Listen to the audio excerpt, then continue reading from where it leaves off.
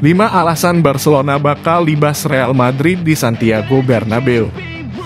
Barcelona akan menghadapi sang rival Real Madrid di Santiago Bernabeu pada pekan ke-9 La Liga 2022-2023. Pertandingan bertajuk El Clasico ini dijadwalkan kick-off Minggu, 16 Oktober 2022, jam 21.15 waktu Indonesia Barat.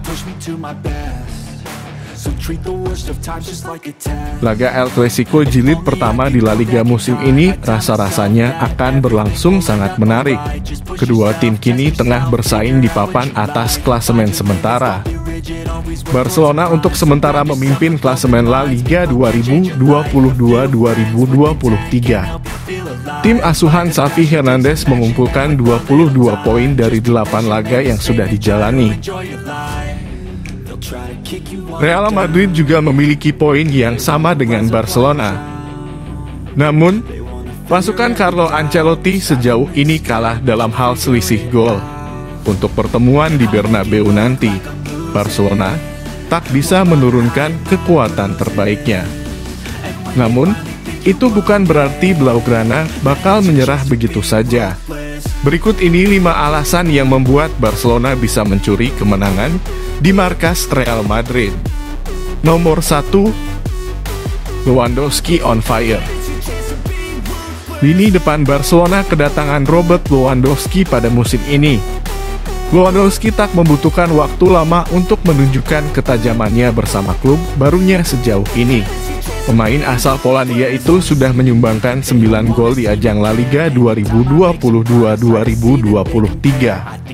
Dia juga mengoleksi 5 gol di Liga Champions, termasuk mencetak 2 gol ke gawang Inter Milan pada tengah pekan kemarin. Sebelumnya, Lewandowski sudah pernah mencetak 6 gol ke gawang Real Madrid saat membela Borussia Dortmund dan Bayern Munchen.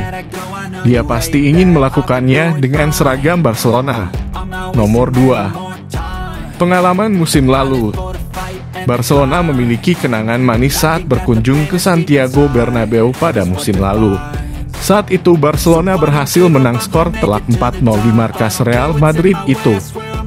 Aubameyang menjadi bintang utama saat itu dengan mencetak dua gol.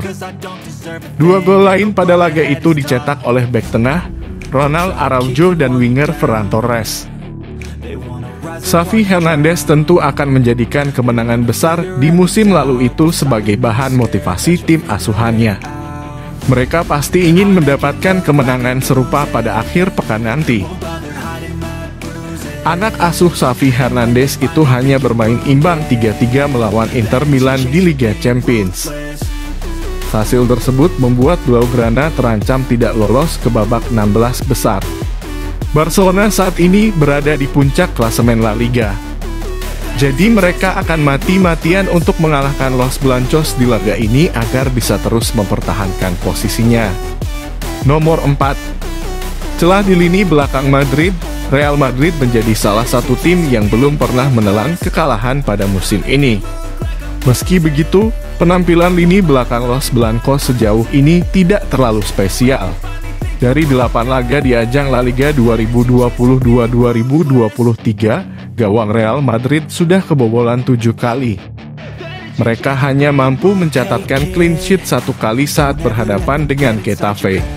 Bersama dengan Atletico Madrid, Los Blancos memiliki rekor pertahanan terburuk di antara tim-tim penghuni posisi lima besar klasemen sementara. Celah itu sangat bisa dimanfaatkan lini depan Barcelona yang tengah dalam kondisi on fire. Nomor 5. Kehilangan Courtois, kabar buruk datang buat Real Madrid menjelang El Clasico melawan Barcelona. Kiper utama mereka Thibaut Courtois tidak bisa pulih tepat waktu.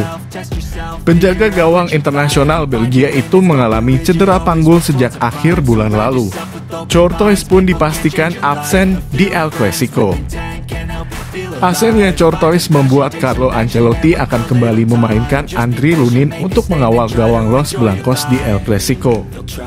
Penjaga gawang asal Ukraina tersebut kemasukan 3 gol dari 4 pertandingan musim ini. Untuk selalu dapatkan update terbaru dari kami, silahkan like, subscribe, dan share.